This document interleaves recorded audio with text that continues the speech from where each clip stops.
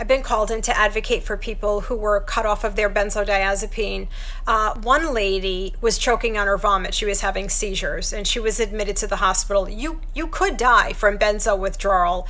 Uh, the Department of Justice has created a toxic environment for the prescriber, and doctors would rather just cut off people instead of weaning them safely because that's how fearful they are of the Department of Justice.